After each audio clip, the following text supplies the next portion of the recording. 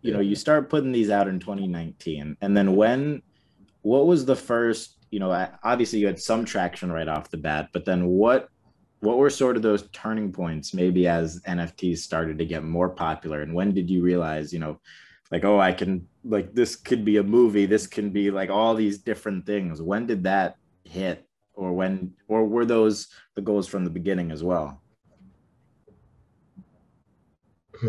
Um no you know what it is man um what's so beautiful about nfts and crypto is the ability to connect and learn with learn from people like full stop like i came in there didn't know a single thing and now i'm connecting with people that have been there you know veterans and, and have experience about what the technology can do, what's the future of the technology. So I was like, I was just in there trying to connect with anybody possible and just learning. And so that that all of 2020, you know, I wasn't releasing much. I maybe released like six works.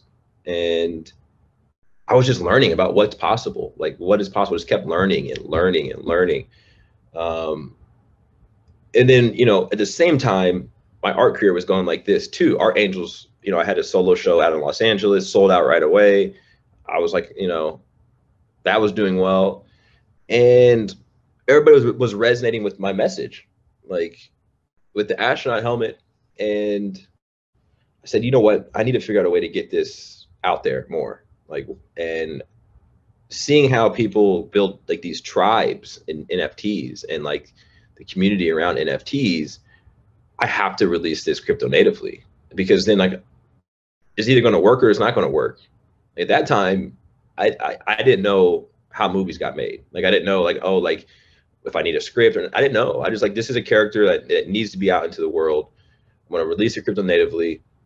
We're gonna find out if it's gonna sink or swim. Like there was no like oh you know let's make this character because then it's gonna be a movie, then it's gonna be a series. We're gonna have a video game. That was all after. Crazy. So what what was the goal with you know this this current project how many chapters are you doing this current one because i know you're on chapter you're about to be on chapter four right now yeah yeah so my idea was i needed 10 chapters i said let's do 10 chapters so we can tell a story and maybe someone can see it. This was like dude we dropped chapter one at like that was the boom you know? Um didn't plan that obviously. Um I thought I needed 10 chapters to prove out that it was a good fit or that, you know, people were interested in it. Um, and people were after one chapter one. of course. after chapter one, that that that narrative flipped, and it was just back. It was just grind mode. And when I saw the numbers that it did, and the people with the messaging on Twitter, I said, okay, I need to do everything I possibly can to make this as big as possible to reward those people because they completely changed the trajectory not for just me but my family like they believed in not just me but this character and this message. So like literally we had it was a five seven minute open edition.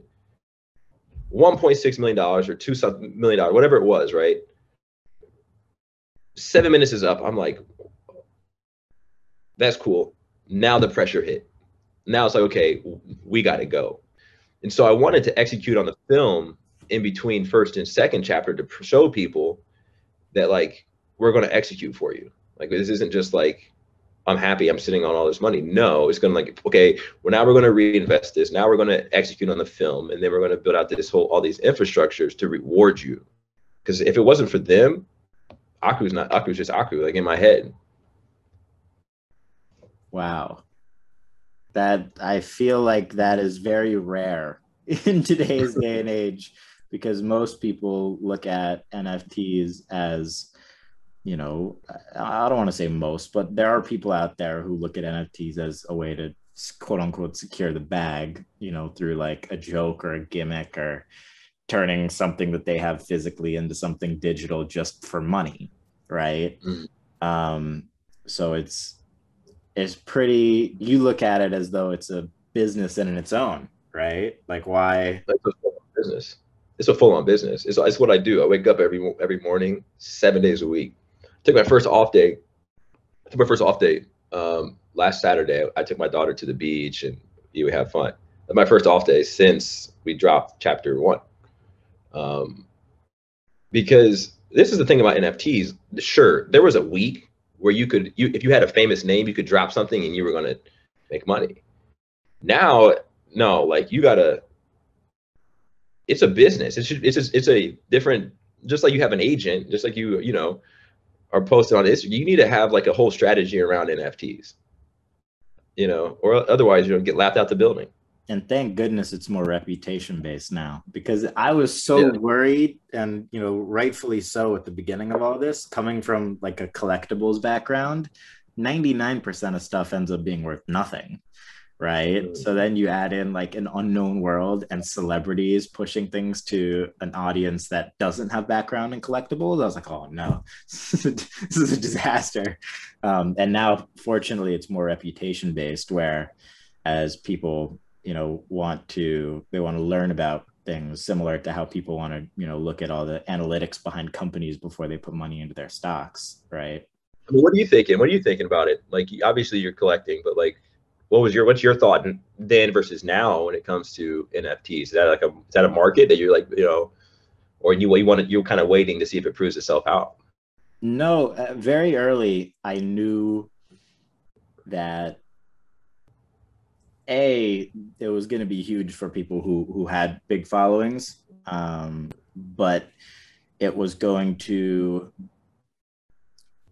a my first thought I'll, I'll go the full uh, the full discography of my own thoughts here first i thought that the big celebrities were going to make money but hurt their reputation so much that they would lose money in the long run which i think mm. has happened um, they because loyalty and trust are you know the the most important things in the world and they're crushing that with on a mil- multi-million person basis so i thought that even if you got let's say five million dollars and you have five ten million followers that was a very bad move um, you know because you're hurting that trust and that's something that you know, like anything, like in a relationship or anything, you know, it takes years to build and five seconds to crush, you know. So that that was my first thought. But then after that, looking at it from a collectibles perspective, um, so like sports cards, for example, the top the top five to ten percent of the market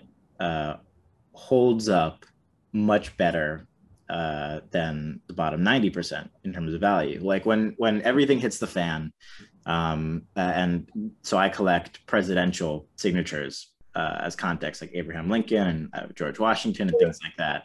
And one of the reasons why I liked it so much was because when the financial crisis hit in 2008, 2009, it didn't go down in value because they were so sought after. They've been collected for uh. Washington. The signature I have is from before the United States uh, before the Declaration of Independence from like 1760. So th- these things have been kept and collected for hundreds of years. No market is going to affect that. And the same thing is true in sports cards to an extent where the LeBron and Jordan rookies hold up much better when everything hits the fan as opposed to a lot of the other stuff. So my immediate thought is all right, let me try to figure out what those things are in this space and then put time and energy into learning those things and spend time with those people I'm not I, was never and I still am not putting huge personal money into any NFT project. I'm putting more time and I like making content about it because content is a great way to be involved uh, yep. for free uh, and from an education standpoint so that other people are then informed.